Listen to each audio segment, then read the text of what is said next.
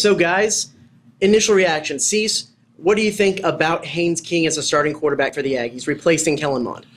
I think the most telling thing that, uh, as we just the three of us said, the smart money all along was on Haynes King. Really, when he came here, uh, no knock on Calzada, but everyone felt it was going to be like King's job. And when Darrell Dickey, when uh, at media day, when he talked about both quarterbacks, and while he was very glowing about both, when he just stopped at one time, he said, "You know, just Haynes can make so many play, but can extend a play with his legs." And I just think it goes back to me. He can make plays with his legs. Yeah, you know, I think for me is it just seems like Haynes is more of the all-around athlete. They've been saying how he's one of the fastest guys on the team. You know, the the the background. You know, we, we just heard from his dad.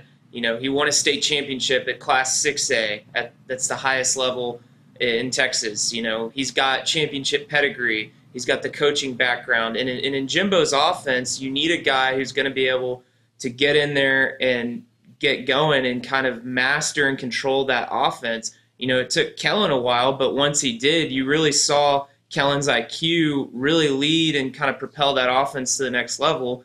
And so Jimbo going through whoever was going to be the starting quarterback, it must have been evident that Haynes was the guy who was going to succeed and be able to do that now that Kellen's gone. Yeah, last year at Haynes King saw action in two games. One of them was Alabama, where he led a drive down. He actually led the team in rushing because of that drive with 43 yards on five rushes, had one completion and then threw an interception, but then was able to come back in his second game and throw his first career touchdown to Max Wright as a 45 yard crossing route against South Carolina, was able to get that first score. But the, the key part to that is, as we've said, those 43 rushing yards because he is very mobile, very agile, can extend plays. And my thought process has always been if you have an offensive line that has this bringing that is losing four starters from last year, bringing in four new people, you might want to have the more mobile running back to be able to give them a little bit of time, a little bit of, of ease of that pressure of, of, of uh, pocket collapsing and he can do stuff. So, with that being said, do you think that there is any indictment in this on where the offensive line is? Or do you think, like you said, it's just that he was the heir apparent when Jimbo brought him in?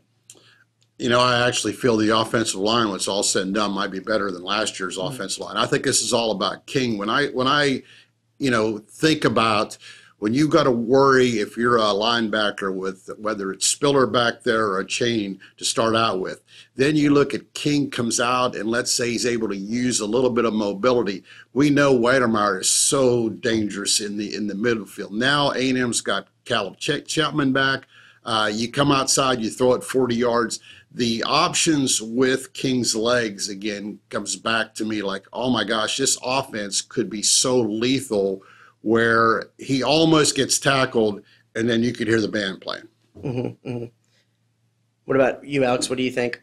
Yeah, yeah, I'm with Cease. I think this is all about Haynes King. You know, I, I, guess at the end of the day, depending on how things go, where, where the offensive line shakes out, and how they're able to perform, you know, it could be kind of a cherry on top that okay, if things collapse a little quicker than maybe they did last year, you have a guy who's got a little bit of escapability uh, in, those kind of pressure situations. But yeah, I, I, think this was mostly probably decided on how Haynes, as him in the quarterback spot, leading the offense, was able to to win that battle. So where what does the offense look like with Haynes King under center? Does it look very similar? Is Jim? I mean, Jimbo is a guy who's pretty set in his ways. Is it look similar to what we saw last year with the Aggies? In some instances, Kellen Mond throwing the ball around a lot, or are we going to see the run game?